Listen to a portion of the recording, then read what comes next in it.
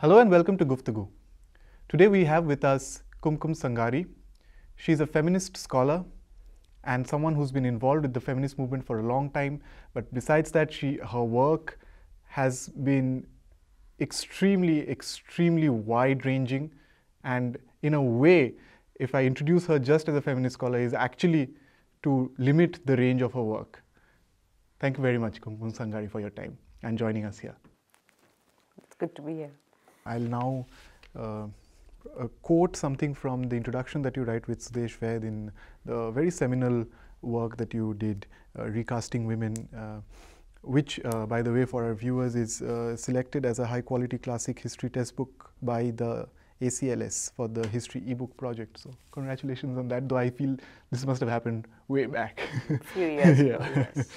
Uh, there you write that a feminist historiography rethinks, like both of you write, that a feminist historiography rethinks historiography as a whole and discards the idea of women as something to be framed by a context in order to be in order to be able to think of gender difference as both structuring and structured by a wide set, set of social relations. In this sense, feminist historiography is a choice open to all historians.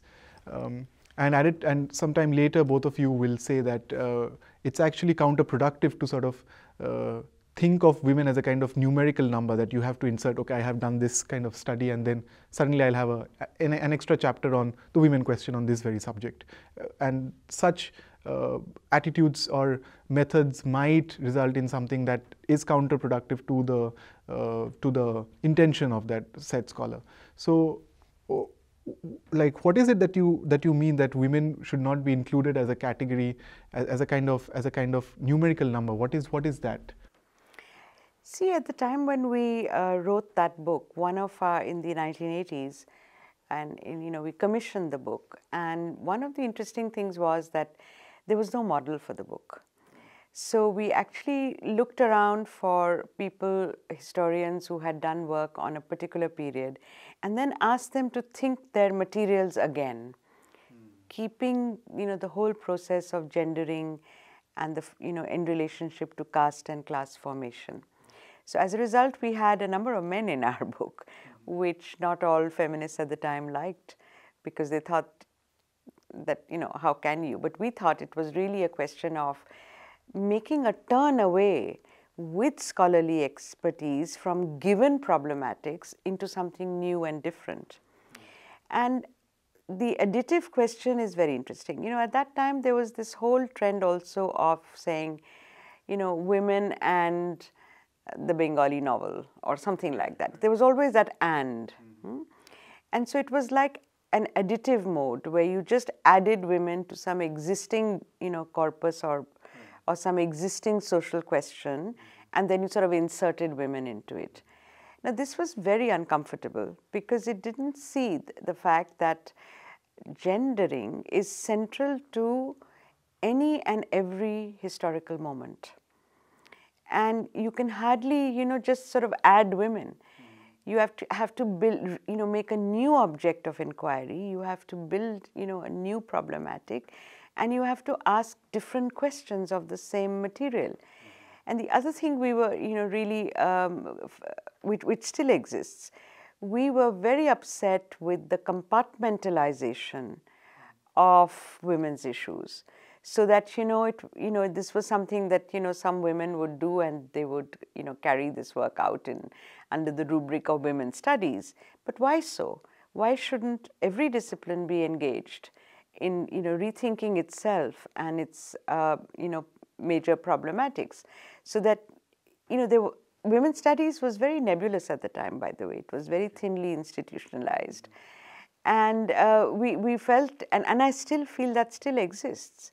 This this segregation of women's studies women's questions from mainstream disciplines hasn't disappeared entirely.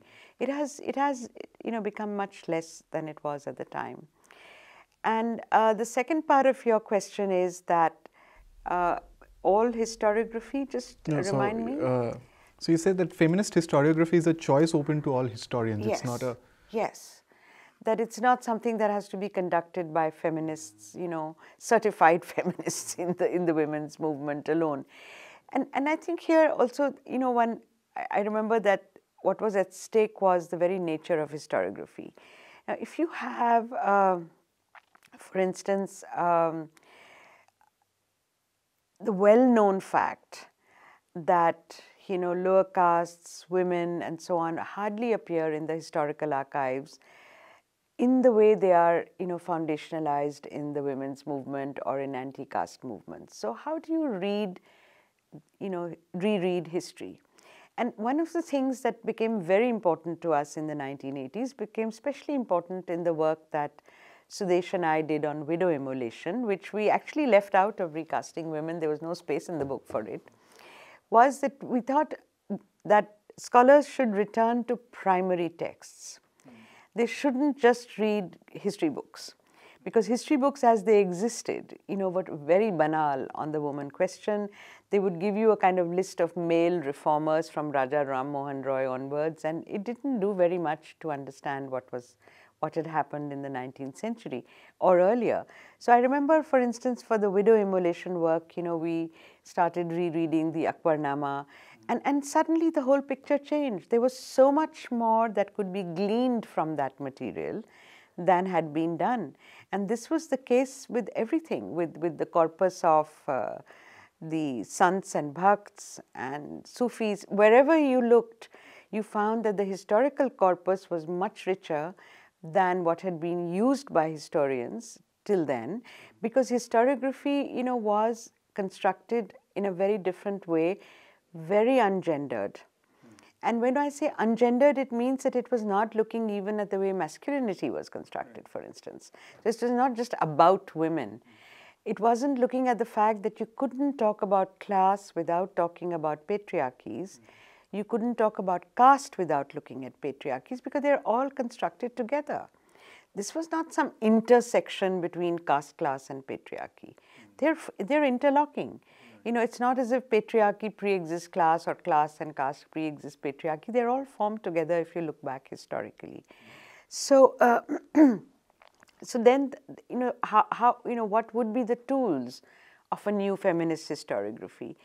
And at the time, there was very little work done that we could draw on. So, um, you know, we had to actually, the, this book was commissioned. It didn't come out of a conference. It came out of an idea that Sudesh and I had about um, having a textbook for history MA students in Delhi University to whom we could recommend some reading, right? So it came from a very limited ambition. And, uh, the, you know, so uh, in, in that sense, I think what happened very interestingly was that many of the persons who wrote for Recasting Women were writing about gender for the first time. So it took three years to, you know, complete that book because there was so much toing and froing between, you know, us as editors and the various writers. And, you know, some kind of perspective then began to emerge uh, or rather the perspective that we began with began to get fleshed out.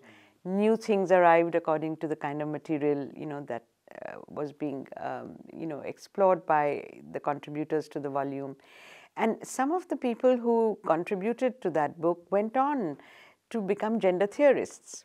And some, you know, no longer wrote about it, as it were. But I think it, it was a very significant moment of saying, go back to the archive, go back to the primary text, look again. And that looking became very rich. So I think the, the question of historiography then is, you know, located very much in the present.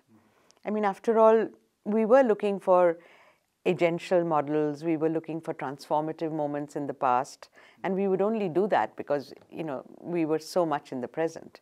So you looked at Mirabai or you know other figures for that reason.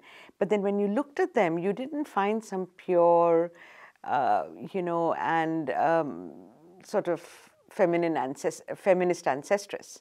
What you actually found was a great deal of ambiguity and contradiction.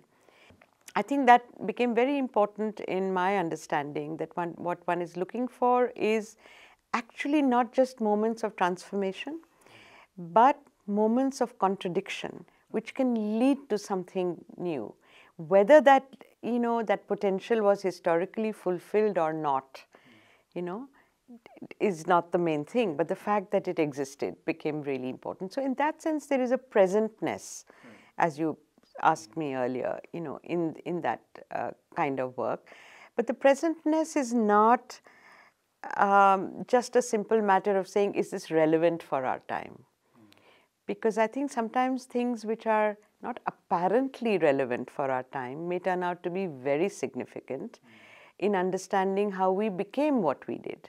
So it's, it was also a question of how did, how did so much, you know, uh, so much uh, patriarchal abuse come to inhabit civil society? You know, so how did we become this, as it were? So it's in that sense also an excavation, um, the presentness.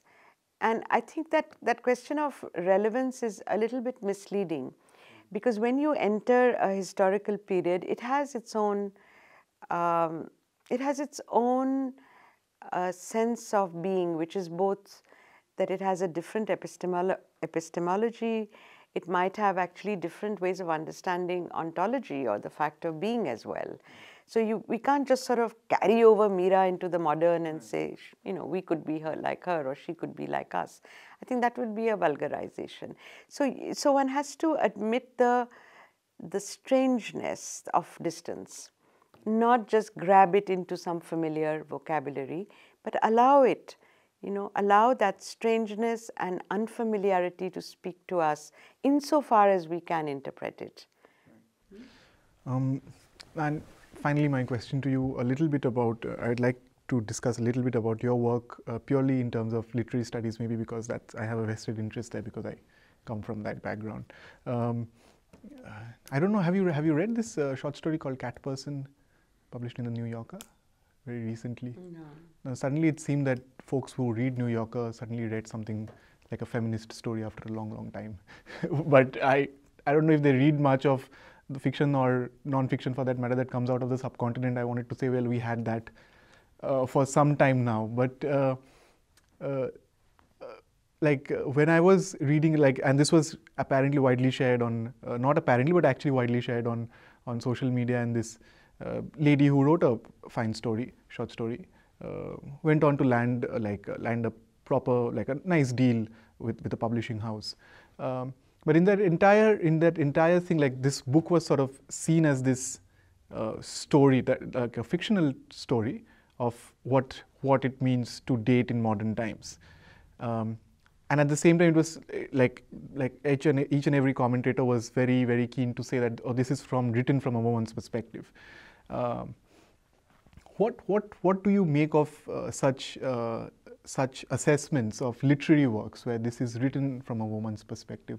Does it not fall into that same trap that we have we have this separate chapter on on women and etc., etc., whatever the rest of my study is? See, I think this category woman is a very difficult one. And because women are class divided, women are caste divided. Hmm? And um, they are also divided in terms of access to, you know, power, access to cultural capital, uh, access to certain kinds of avenues uh, for, let us say, employment or um, certain kinds of activity. So, at some level, it has always been a problem for feminism. Um, again, there have been like, you know, two bifurcating streams. One of them, you know, like radical feminism of the, you know, 1970s in America, they saw patriarchy as the main social contradiction um, the left has largely seen class as the main social contradiction and so on. And I think these are things that precisely the kind of challenges that you know we began to take up with recasting women that you can't separate these out. And I think recasting women itself shows that women were actually very diverse. I mean, if you look at the list of, you know, of, of essays in that, you know, you have working class women, tribal women, rural peasant women in Haryana. You also have middle class women, you know, the Bhadra Mahilas that are coming up in West Bengal. What is it that unites them? And I think that is always a crucial question. Either if you put all your, you know, money in sexual difference, then I think, you know, it, it can be misleading. because you also have women who consent to patriarchal norms, right? right? I think I wrote a long essay called Consent and Agency right. many years ago. Uh, and they consent for different reasons, you know, also from vulnerability, sometimes because they have bought into or invested in, um, uh, uh, in patriarchal power because it has been delegated to them to practice inside the family and so on. So this is a very complex field. And a woman's point of view perhaps is the most banal and vulgar way of putting it, if I may say so. Uh, the question is, what is that story doing? What kind of gendering of social relations is it showing? Hmm? And I think there would lie the test, not the fact that a woman, you know, and, and what is the set of, what is the sense of womanness that is operating there? I mean, sometimes I feel very strongly that women seem to be, as a category, united largely by sexist violence and labor. Mm -hmm. You know, it's domestic labor, which is, um, you know, usually falls to women, or in upper and middle class women, it's the supervision of domestic labor, which is another form of labor, though it's filled with power. And then you have, as we see, I mean, as we see this increasing sexist violence, which has been happening now in India. You know, we, we are never sure whether it's actually increasing or it's being reported more. But certainly that category woman is composed, you know, very often by labor and violence in our context. So I would say that I would hesitate to, you know, I think there has there is a feminist unity, you know, around the concept you know, of, of women, which came up from the second phase of the women's movement.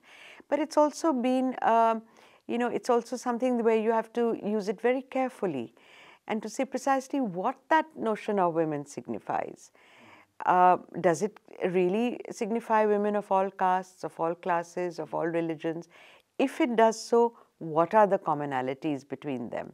So I think it's a question of weaving one's way both analytically and empirically through commonalities and differences, and then also thinking about the fact that are we only talking of heteronormativity? What about you know non-heterosexual uh, you know um, groups? You know how do they relate to the category you know woman or even to feminism? These are all now very pressing pressing questions. So I would say this woman's point of view sometimes would be, you know, for the New Yorker might just be a selling point. Yeah, absolutely. But, uh, you know, you'd have to tell me what the story is really like. No, maybe we'll read it online after the interview. but uh, Professor Kumkum Sangari, thank you so much for your time. Okay. I wish I wish we have all the time in the world to read and uh, delve into some of the other questions that you have raised, but uh, unfortunately, this is all the time we have. Okay. And thank you thank very you. much. And thank you very much for watching.